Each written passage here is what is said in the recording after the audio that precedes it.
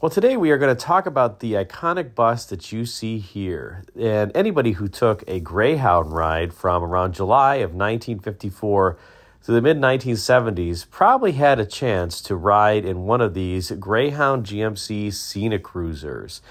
And why are we going to talk about it today? Well, because a lot of automotive companies and stylists were involved in the production of the Greyhound Scenic Cruiser. I already mentioned the GMC was the one who was commissioned to build these coaches.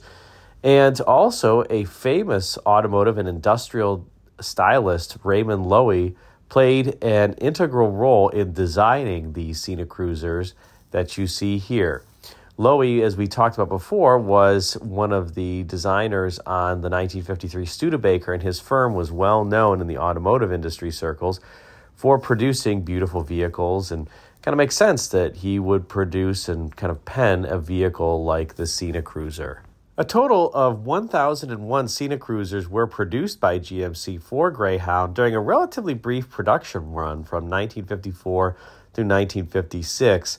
And while the vehicle was just produced in those three years by GMC for Greyhound, as I mentioned, it stuck in service all the way through to the mid 1970s with quite a few updates, but the Scenic Cruiser also had a lot of innovative features. Now, one of the things to note about the Scenic Cruiser is that it, at least in the US, was unique for that upper deck where you could observe through the glass on the exterior the roadways and hence the name Scenic Cruiser. You had the glass that surrounded you on the perimeter, and then you had those big windows up front that you could stare out of. Children in particular wanted to make sure that they got one of those rows or the seats in the rows where they could see right out through the top of the Scenic Cruiser. And if they didn't, according to some bus drivers that I know who drew who drove these Scenic Cruisers, the children became very upset. But the vehicle had some interesting origins. More specifically, the double decker type of bus that you see here was relatively common in Europe at the time, though it was not in the United States. And there were even some vehicles that strongly resemble the Scenic Cruiser that had come out and were being produced in Europe before the design or a similar design made it stateside. You can see here this particular bus that was produced in Spain called the Pegaso has a very scenic cruiser like shape. And this bus was designed in 1949. It was introduced in 1951. So it did precede the scenic cruiser in terms of its introduction into the marketplace. However, it's hard to say that Pegaso copied the Raymond Loewy style designs because there were some Greyhound prototypes that were being done in the 1940s that had a similar shape to this Pegaso. So, presumably, even the Greyhound Scenic Cruiser might have preceded this in terms of its design, given the timing of the prototypes and when they were released. Now, the Scenic Cruiser was the result of a seven year effort between Greyhound and GMC. So it was in development a long time. And one of the proposals, the early prototypes for the Scenic Cruiser was what you see here, the so called GX1 that was designed by Raymond Loewy. Now, you can see that this has a double decker style bus up front. There's seats on the top and seats on the bottom, and then there's a section of stairs kind of in the middle section of the bus and then there's just a final set of chairs that's on the upper level where the bus occupants are sitting above the axles. So this is really how the Scenic Cruiser started, and this is the patent for the GX1 prototype. You notice the patent number there on the right side is dated August 14th, 1951, but notice the patent was filed in 1944. So the design began long before 1951. You also notice the name of O.S. Caesar et al. O.S. Caesar was the president of Greyhound. So he has his name on this particular patent. And if you look in the left section, behind the bottom drawing, you'll also see the name of Raymond Loewy. So Raymond Loewy has his name on this particular patent, as does the president of Greyhound, whom uh, I guess he believed had a significant influence on the vehicle overall. He did, in fact, have a significant influence on the next generation prototype, which was the GX2, which came out several years after the GX1, based on the learnings from this particular prototype. And those learnings included several items. The first was that this particular bus, the GX1, was too tall to fit in many Greyhound garages, and as a result, Orville Caesar dictated that the next generation prototype was going to be lower overall. It was also going to be kind of like a step and a half design, if you will, versus the true double decker. That was his decision that he made. And another was that this particular GX1 coach was 35 feet long, which was typical of coaches during the era. But the president of Greyhound wanted the next bus to be even longer. And so the Scenic Cruiser and the GX2 prototype would be 40 feet long. And while they look absolutely massive by today's standards, most buses today are actually about 45 feet long. So the final Scenic Cruiser as well as the GX2 would actually end up being about five feet shorter than the modern day bus, although they are considerably longer than the 35 foot buses that were typical of the era prior to the Scenic Cruiser. Now, given those mandates from the Greyhound president, this GX2 prototype would go into service in 1952 after being designed around 1948. And it's starting to look pretty similar to a Scenic Cruiser here. This was actually built by Greyhound itself in its Chicago production facility or engineering facility and was a collaboration between Greyhound and GM as well as Raymond Loewy. Now, you notice that you have that kind of deck and a half design here that I was talking about that was mandated by Greyhound's president. As I mentioned, this was a 40 foot long bus, so it was longer than the GX1 prototype. And it had a number of interesting features.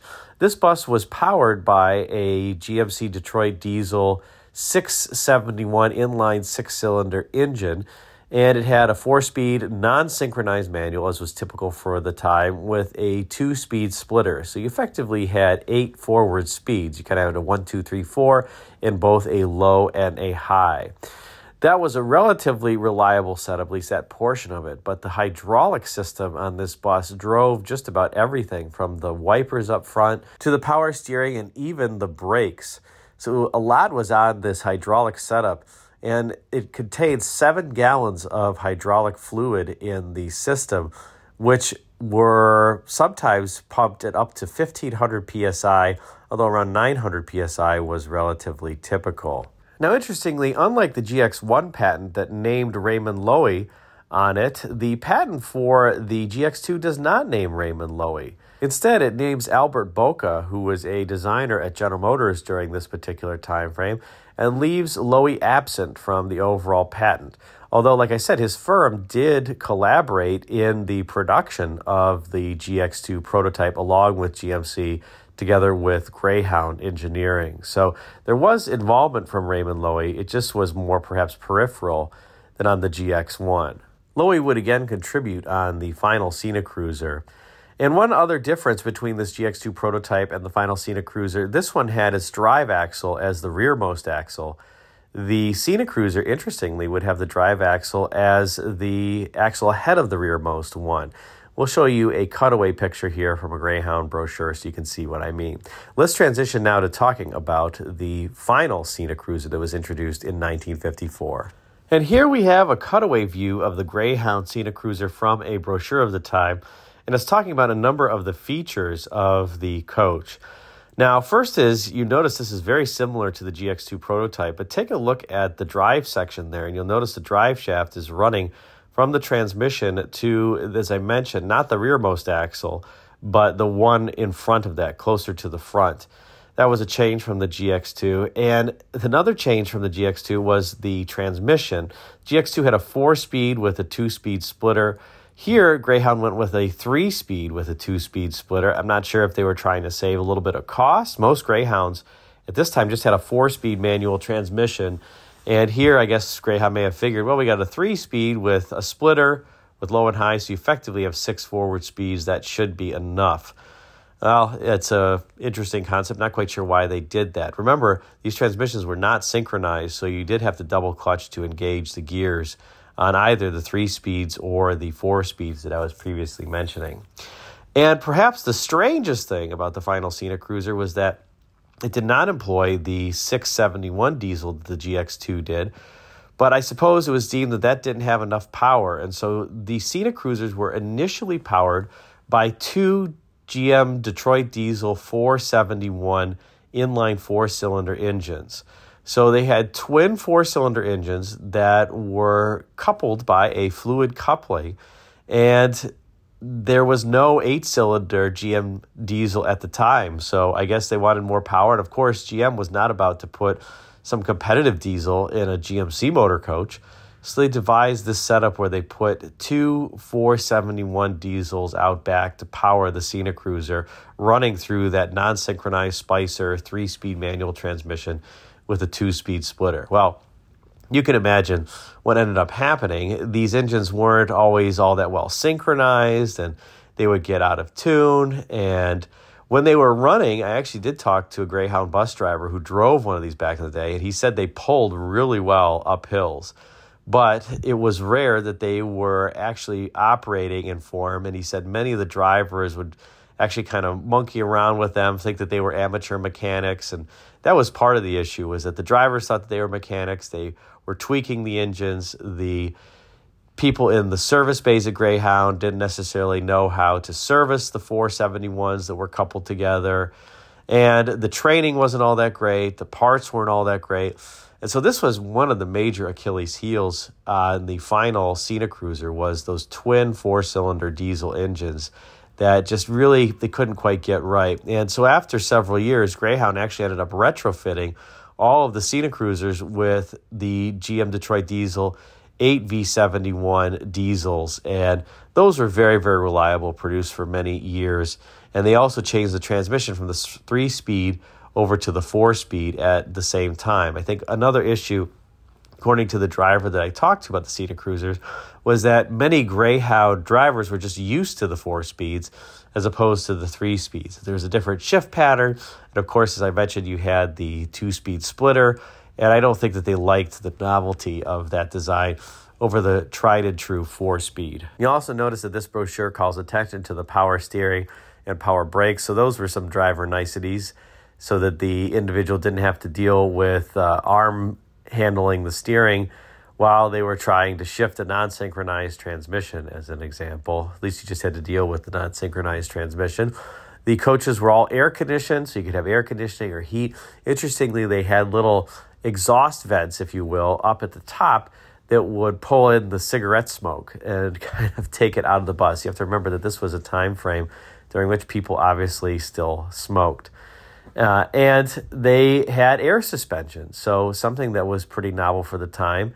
And the Scenicruisers did consequently ride quite well, and other GMC motor coaches would employ air suspension for years later, including the GMC motorhome of the 1970s. And here's another advertisement from the time talking about the Scenicruiser's various luxuries. And you can see here the attendant who is standing in front of the beautiful dual panes of glass up front there, providing the truly scenic view. Greyhound did offer both a stop service as well as some nonstop service to select destinations, so you could just get on the bus and drive. And of course, these had a lavatory facility that you could use. That was at the bottom of the stairs on the left there. So you could ride in air conditioned comfort if that were the appropriate time of the year, or heated comfort, and lots of storage space on these particular buses as well. And here's a view out of an unfortunately gutted Scenicruiser, but you can still see the panoramic view that you would have had from the upper deck. I'm sure it was a sight to behold and truly a luxury for travel back in the day. Remember, this was obviously at a time before jet airplanes were crossing the skies uh, with, let's say, extreme levels of frequency. It was still relatively rare. So, this was a luxurious way to travel. Now let's switch to the interior and notice this picture of a restored Scenicruiser and pay particular attention to the seat fabric that is here. It's kind of this interwoven design that is an interesting color, and it was specifically chosen so that it would not show spots. that was interesting. That Greyhound, together with Raymond Loewy, actually selected the seat fabrics in these Scenicruisers so that as they wore over time, you would not see the spots on the seats. I don't know what to think of that. I guess it was a good idea. And as I mentioned, these Scenicruisers did last in service for a good period of time. They were first delivered in 1954. Some of them continued on through the mid 1970s, so almost a 20 year run, albeit they were mechanically upgraded, as I mentioned, with the 8V71 diesel and four speed transmission from the original twin four cylinder engines. I wish that there were more written about the twin four cylinder engines or that there were pictures of them, but because all of them were retrofitted, I can't really find any in operation, and I can't find all that much about the engineering as a consequence of the 471s and how they operate in tandem. If anybody knows, put a comment in the comment section. I can expound upon it on a later video. So, what do you think about the Scenicruiser and this interesting combination of Greyhound GMC engineering together with Raymond Loewy and Associates on the styling? Uh, it just really was the confluence of a lot of powerhouses in the design and engineering areas that came together for the Scenicruiser and produced something that was very memorable for many individuals who were traveling in the 1950s through 1970s by bus. It also influenced the design of its successor that you can see here, the so called GMC Buffalo bus, that's so named for obvious reasons. But the Scenicruiser was a sight to behold back in the 50s through the 1970s, despite its flaws like the engine and transmission, as I mentioned. They also had some frame cracking issues, so that wouldn't be good, but they were pretty sweet. Do you memory about riding around in a Scenicruiser when you were a kid or an adult? Put a comment in the comment section. Thanks again for watching.